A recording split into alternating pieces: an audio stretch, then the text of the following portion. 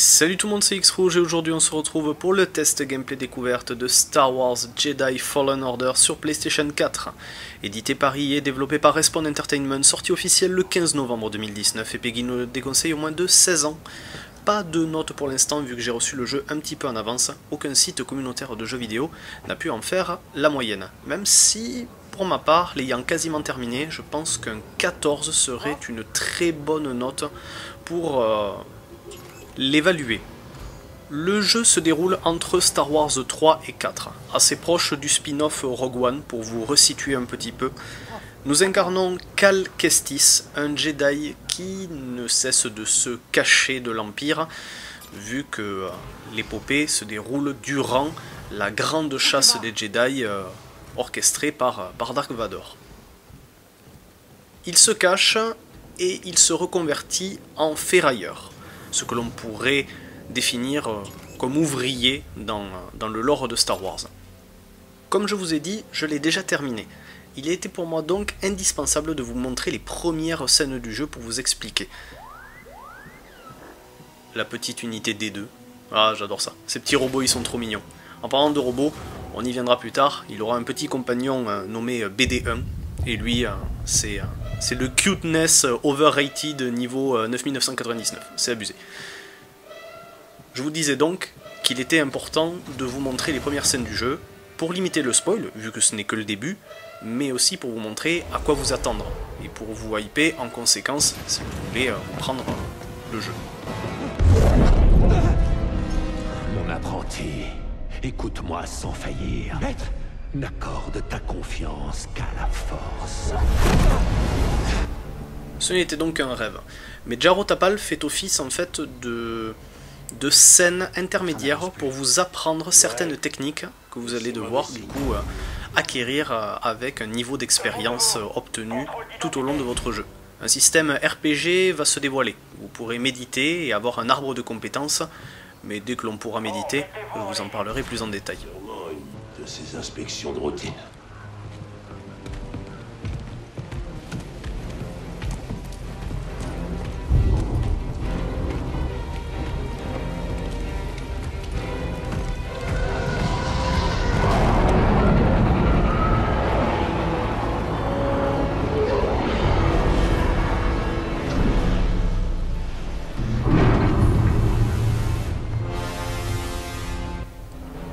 Information, il s'agit du coup de l'antagoniste principal du jeu. Elle se fait surnommer la neuvième sœur.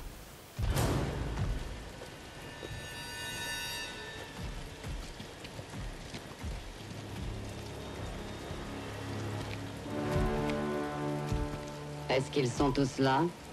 Oui, deuxième sœur. Nous cherchons un dangereux fugitif. Ce n'est pas un simple anarchiste, mais un fanatique de cet infâme ordre Jedi. Tous ceux qui refuseront d'obtempérer se verront accusés de sédition. Qu'ils se livrent maintenant, ou tout le monde ici présent sera alors exécuté sur le champ.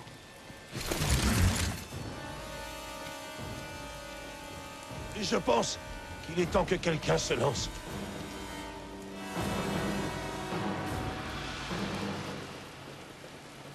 Je... Ça fait un bout de temps que je travaille sur cette planète. Longtemps avant la guerre. On rénovait des vaisseaux à cette époque. On était les vrais cadors. Ensuite, l'Empire est arrivé. Alors les ingénieurs sont devenus des ferrailleurs. Les ouvriers sont devenus des exploités. Prof. On sait tous ce qui se passe. Sauf que... On a peur de le dire. Pour l'Empire, nous ne valons absolument rien. Oui, c'est vrai.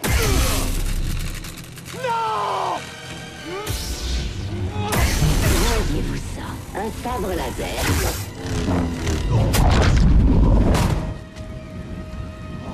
Je maîtrise le Jedi!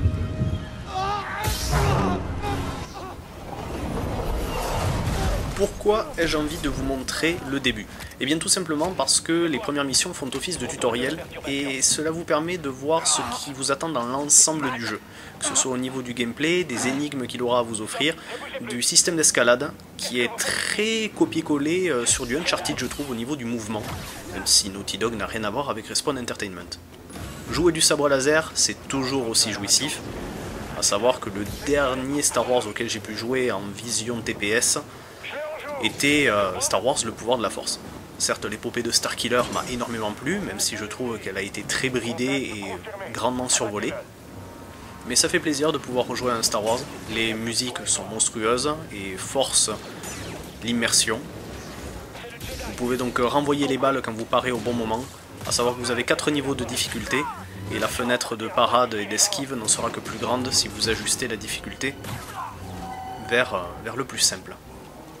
Continuons donc ce tutoriel, mais en attendant les prochaines phases, parce que là je crois que j'ai un petit peu, oui voilà, j'ai un petit peu d'escalade à faire.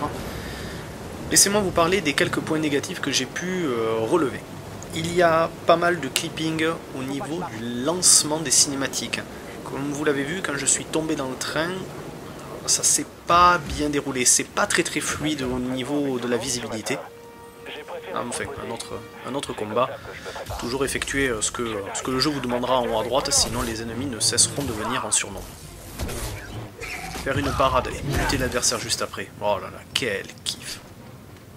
Et ensuite, au niveau de l'encodage, les collisions et les textures, c'est mal foutu parfois, à savoir que les adversaires rentrent souvent dans le sol s'il y a euh, un certain nivelet.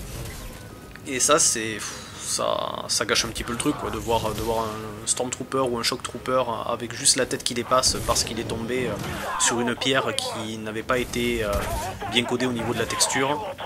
Et pour faire du, euh, blocking, bah, quand ça traverse, c'est pas, pas ouf visuellement, quoi. Pourquoi ça ne marche pas? Normalement, le RE me permet de ralentir. Ah, mais c'était sur les adversaires D'accord, d'accord. Voilà, le fait de ralentir vous permettra de contourner l'ennemi en question, de lui asséner un coup euh, létal par derrière. Au niveau du, run du personnage aussi, je trouve qu'il court de façon un peu, un bébête. C'est dommage. Ça, je sais pas, ça a l'air un peu, un peu handicapé quand il court. Et puis euh, même au niveau du, du face making, je ne sais pas pourquoi ils ont pris cet acteur. Et ça me fait un petit peu le même effet que bah, quand j'ai découvert le visage de Kylo Ren, quand j'ai regardé les films. C'est... Bah, ça casse pas trois patins un canard, hein. niveau charisme, on aurait pu trouver mieux. Certes, il est jeune, peut-être vont-ils le faire vieillir dans une suite, mais... Euh, après, je, ne juge pas du tout la gueule de l'acteur en lui-même, mais pour un Star Wars, faudrait pas qu'ils commencent à nous habituer à nous mettre des, têtes de, victimes en guise de, de protagonistes ou d'antagonistes. Quoi. Ça, ça pourrait plus leur desservir qu'autre chose.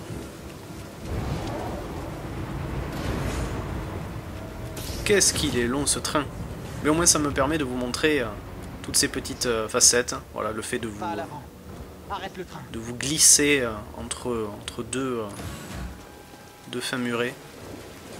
Oh non Il me faut un abri. La petite séance d'esquive qui commence. Je dois foncer entre chaque rafale. Maintenant Le jeu de lumière est quand même bien foutu, ça il faut le reconnaître. Et beaucoup de gens critiquaient au niveau des graphismes. Je trouve que, pour ma part, je trouve que le jeu est super beau. Euh, il est mal foutu sur certains points, je le reconnais. D'où le fait que, pour ma part, je lui attribue euh, cette note de, de 14, qui est pas une mauvaise note hein, quand même, faut, faut le reconnaître. Mais après, euh, il y a différentes choses qui font... euh, on peut pas lui donner le bon Dieu sans confession. Il y a plusieurs choses à revoir et vous devriez le constater. Je pensais que j'allais dire. Vous allez le constater euh, de, de vous-même. Même si les scènes sont, sont très très dynamiques hein, et ça c'est vraiment efficace pour nous tenir en haleine. C'est c'est incroyable. Au niveau de, de- de l'action euh, qui est contenue dans le jeu, Respawn ne s'est vraiment pas foutu de votre gueule et ça il faut souligner.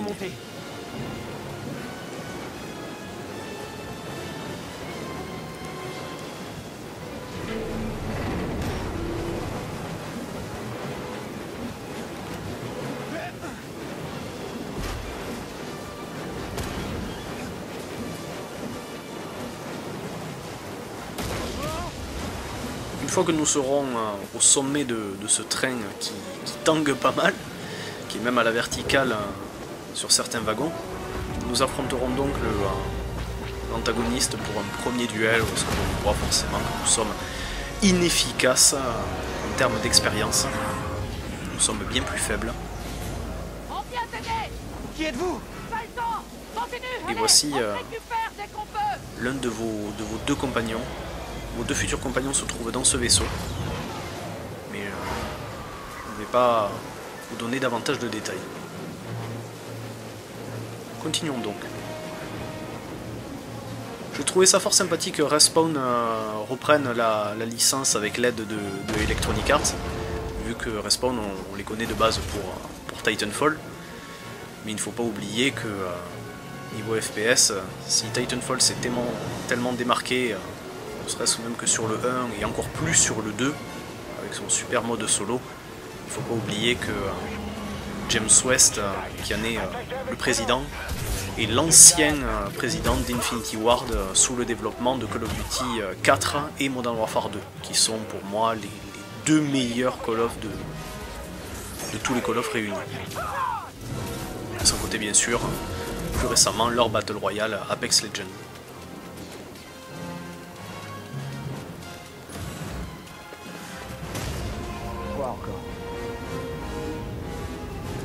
Une fois que cette scène sera terminée, On s'est arrêté je vais vous montrer euh, dans un établi, une fois que j'y arriverai, vous avez la possibilité de personnaliser votre sabre à laser. Et ça par contre, c'est un putain de gros point positif. Lui mettre la couleur du laser que vous voulez, le manche, la garde, tout est modifiable, jusqu'à même la couleur, la teinte euh, du métal, si vous voulez plutôt euh, lustré, nacre, chrome, voilà, tout est possible.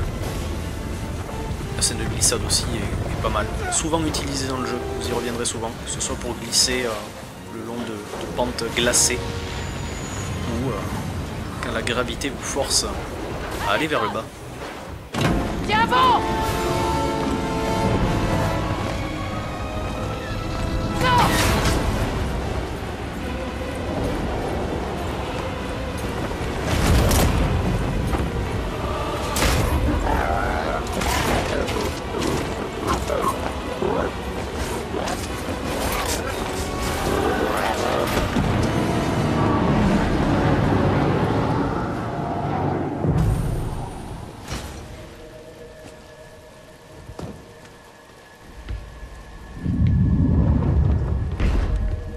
Quelque part.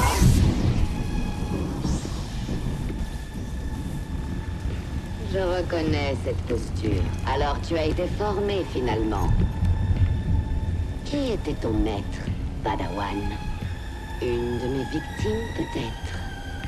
Quel Jedi s'est sacrifié pour que toi tu puisses vivre? J'ai pas voulu l'interrompre pendant la cinématique, mais quand je vous parlais de, de clipping, justement, ben, on a vu euh, d'abord le, le- le pantalon de l'antagoniste, suivi de la cape qui a été rajoutée après euh, en mode un peu image fantôme. Et ça, c'est assez récurrent, que ce soit au début ou à la fin des cinématiques. Je le fais euh, le que je le classe dans la catégorie des, des points négatifs à relever.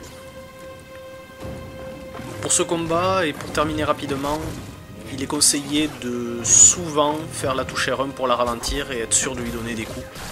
Ou pouvez esquiver avec la touche rond, et si vous faites deux fois rond, vous avez une roulade, parce que certaines attaques sont imparables. Comme le jeu l'a dit, quand l'ennemi euh, est en rouge et s'apprête à frapper, c'est que c'est imparable.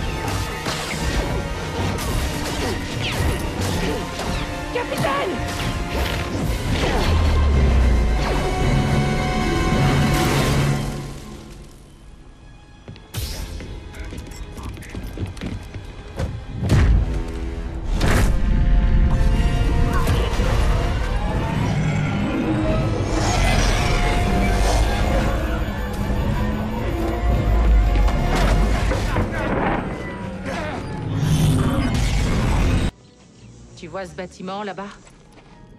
Je pense que ce sanctuaire renferme la clé pour recréer l'ordre Jedi. Mais seul quelqu'un qui maîtrise la force peut réussir cette épreuve. Et comme vous n'êtes plus Jedi, vous avez besoin de moi. Je sais que tu ne me fais pas confiance. Et moi aussi, j'ai encore des doutes à ton sujet. Mais nous avons un adversaire commun. Et une cause commune. Je t'en dirai plus quand tu auras rejoint le sanctuaire. Mais bon, en attendant, j'aimerais que tu rencontres quelqu'un. Que la force soit avec toi.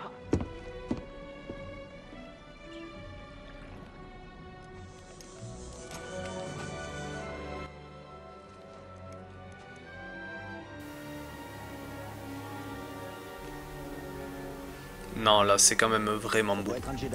Petite ellipse, petit bond en avant, du coup, on se retrouve euh, dans, euh, dans la première scène du jeu où est-ce que vous êtes vraiment livré à vous-même.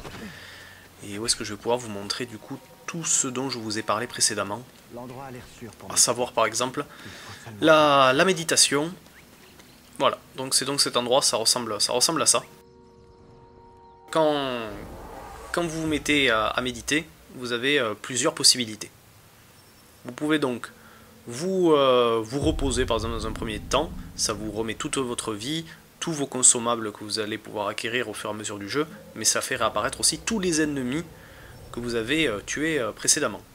L'arbre de compétences, comme je vous ai dit, un ou plusieurs points vous seront demandés pour acquérir la compétence en question, et il y a trois branches principales, à savoir la force, la vitalité de votre personnage, et les différents types d'attaques que vous avez appris durant votre formation de Jedi.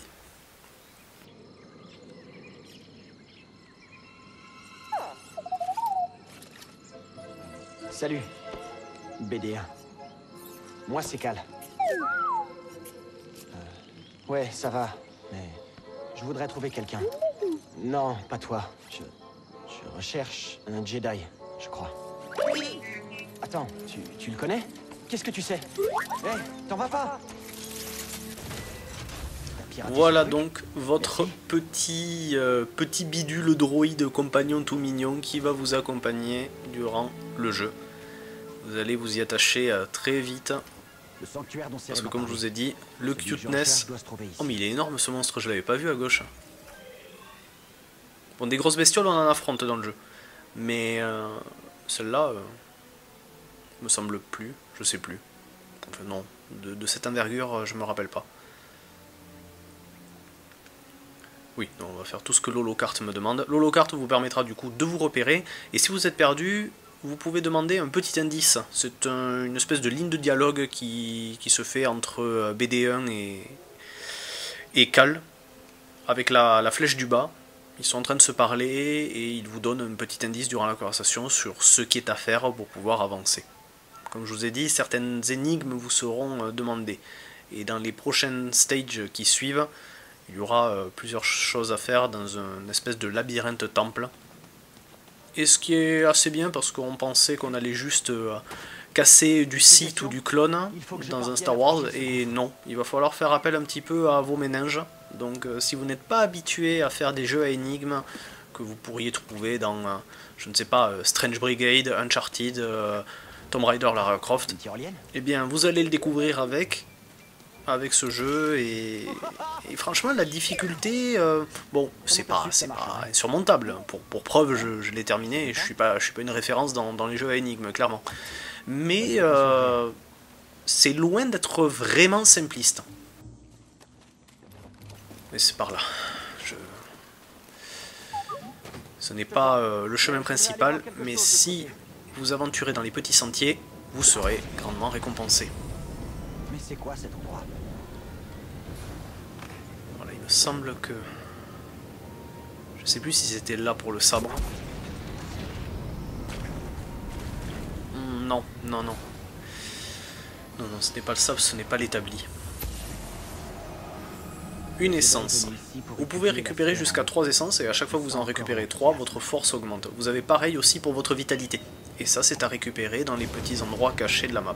Ce qui fait que le jeu vous force à ne pas suivre en ligne droite le chemin pour faire la, trame principale, mais éventuellement euh, vous aventurer euh, dans les petits euh, bourbiers lointains qu'a développé Respawn, et pour récompenser votre curiosité. Si on continue par là, je ne sais plus ce qu'il y a. Je sais qu'il y a quelque chose, mais je ne me rappelle plus quoi. Mais si je sais déjà de base qu'il y avait un truc, c'est que ça avait le mérite d'être noté. Du moins je pense. Avec euh, la touche L1, vous pouvez euh, vous servir de votre sabre comme, euh, comme d'une lampe. Et ça c'est plutôt drôle. Ce truc a l'air de sentir plus mauvais que gris. Il y avait un boss, effectivement. Ah, j'ai fait mon esquive trop tôt. Appuyez sur la touche rond pour vous relever plus rapidement après une chute. Fois que vous tuerez certains de vos adversaires, enfin du moins à chaque fois que vous allez en tuer des nouveaux, il faut d'abord les scanner avec BD1 pour que vous puissiez acquérir l'expérience donnée par euh, l'adversaire vaincu. Je l'ai ralenti au plus mauvais moment, il était en train de, de sautiller de partout. Et là on a l'essence de vitalité, si je me rappelle bien. On aurait une sur trois. Oui, si vous voulez recommencer le jeu, le jeu fait des sauvegardes automatiques certes, mais à chaque fois que vous allez recommencer, il va vous proposer un nouveau slot, ce qui fait que vous ne perdrez pas vos anciennes données si vous voulez recommencer juste pour le montrer à quelqu'un, comme moi en question, qu'il a recommencé euh, pour vous. Au préalable, bon, je vous avoue, j'ai pas trop fait le malin, j'avais quand même sauvegardé au cas où et je l'avais mis sur une clé, mais au final, euh, j'étais grandement rassuré et satisfait que le jeu puisse proposer euh, ce système de, de sauvegarde avec multi-slot. Partons donc vers le sentier principal. Voilà, si vous êtes perdu, encore un indice de plus. Votre petit robot, s'il n'est pas sur votre dos, peut aussi vous indiquer euh, le chemin à suivre. Donc franchement, c'est pas un jeu où vous allez vraiment vous perdre. Euh, si vous êtes perdu, c'est parce que vous n'avez pas été vraiment attentif. Dans ce cas-là, rebroussez chemin, faites demi-tour et regardez autour de vous. Euh, Franchement, c'est c'est très intuitif. Que ce soit au niveau euh, de l'indication ou, ou même de l'appréhension du gameplay. Il me semble que c'est là que, que BD1 s'est fait. hein. Il est où? Ouais, Il est là-bas que BD1 s'était fait péter la- l'une de ses pattes. Eh, C'était plutôt courageux. Ça va pas Attends, je peux peut-être t'aider. Tu veux bien Oh, d'accord.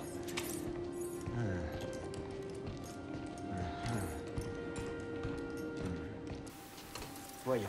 Vous allez donc le réparer et au fur et à mesure vous allez avoir plusieurs scènes de réparation de votre petit droïde et vous allez pouvoir du coup lui faire avoir certaines compétences comme euh, pirater des systèmes qui vous offriront donc euh, dans le meilleur des cas euh, un raccourci ou un autre passage ou bloquer euh, les éoliennes que vous voyez en fond pour pouvoir justement marcher dessus si les éoliennes sont à l'horizontale et non à la verticale comme, comme ici indiqué. Il était pas là l'établi? Ah, il était là La personnalisation du sabre, ça c'est vraiment génial. Je crois qu'il y a Ouais, il y a ces deux couleurs, mais je crois qu'après, il n'y a, rien d'autre. Ouais, je n'ai qu'une seule chose. Ouais, il y a, rien. Bon, bref, vous pouvez voir tout ce qu'on peut euh, changer, mais là, on va lui mettre la couleur vert parce que j'adore les Jedi consulaires. Les cristaux calbeur verts étaient donnés généralement aux maîtres consulaires qui formaient leurs petits padawan qui allaient suivre les pas du maître. BD, c'est pour vous dire, hein, si j'attache une grande importance à cette couleur est vert dans les sabres, vu que mon Jedi préféré, tout Jedi confondu dans tout le lore de Star Wars, BD, livres, etc., c'est Qui-Gon Jinn. Et rien que pour Qui-Gon, il me fallait la couleur verte.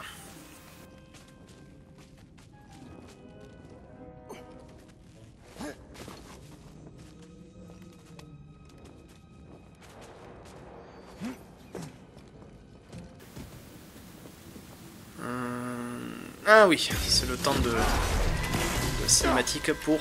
Vous voyez en bas à gauche, j'ai euh, maintenant euh, deux petites fioles de soins que le robot va pouvoir me donner en appuyant sur la flèche du haut. Et c'est sympa de montrer des, des cinématiques comme ça pour, euh, pour agrandir votre inventaire. A savoir aussi que les temps de chargement, il n'y en a pas dans le jeu, et ce sont des temps de chargement dits dynamiques. Quand vous êtes dans le vaisseau avec vos, deux, vos deux camarades, eh bien vous allez à un endroit, vous l'avez précisé, et quand il rentre en vitesse lumière, en fait, l'animation de la vitesse lumière fait partie, est une partie intégrante du, du- du chargement dynamique, ce qui fait que du coup vous voyez pas vraiment le temps passer. Et ça c'est c'est plutôt chouette. Vous avez aussi différentes activités à faire dans le vaisseau pour passer le temps de chargement. Et ça c'est vachement sympa et c'est un bon point positif à noter. D'où tu débarques? Tu te souviens pas? Hmm, Un droïde peut être amnésique. Voilà, corde coupée. On a créé donc un raccourci. un. Il fallait absolument que je monte euh, par mes propres moyens. Mais quand vous arrivez à un certain endroit de la carte, vous pouvez euh, faire une certaine action pour pouvoir euh, grimper directement, revenir à l'endroit où vous étiez une fois que vous avez parcouru toute la toute la zone.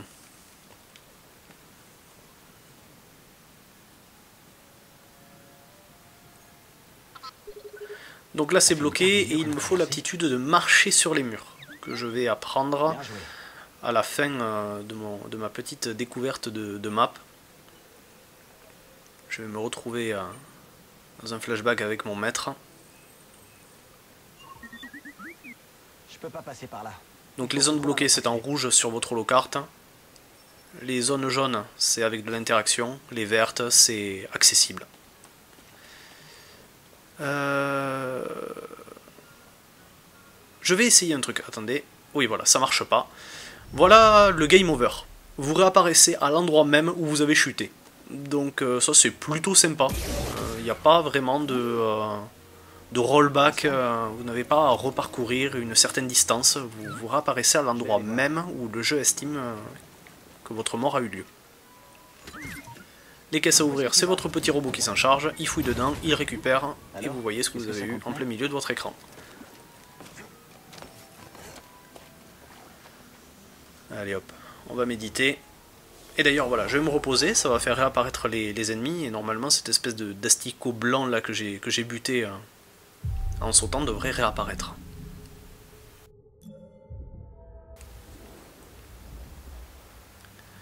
Et oui, il est là-bas. Voilà, donc ça fait vraiment tout réapparaître. Ça fait penser un petit peu au Dark Souls hein, quand on va près du feu.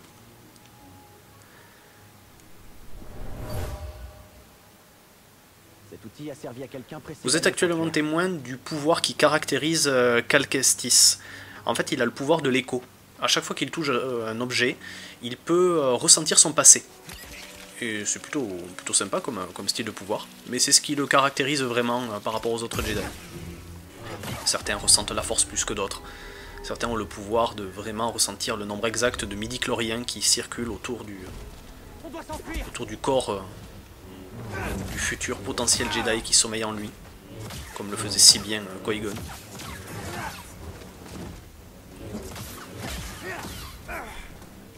Mais L'autre, il allait se faire attaquer, je l'ai sauvé, il a fallu que je bute le gros pour que le petit m'attaque, quoi. Incroyable.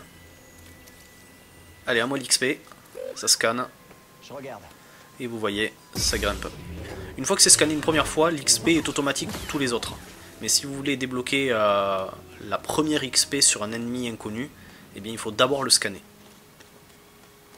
A savoir que comme les ennemis apparaissent souvent en doublon, des Stormtroopers, je vous cache pas que ben, vous le voyez même, hein, que j'en ai pas affronté qu'un seul, donc euh, j'en aurai d'autres, et je pourrai les scanner à ce moment-là pour avoir l'XP.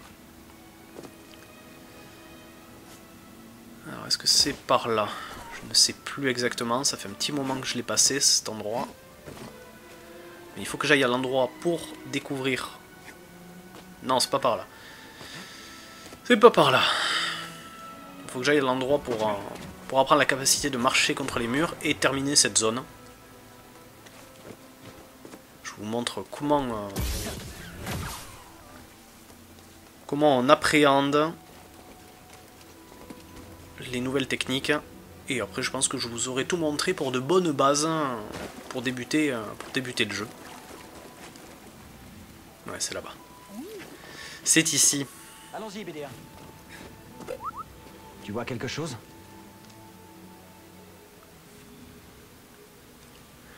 Je vous montre donc le gameplay de Cal avec son maître. Et ensuite, on s'arrêtera là.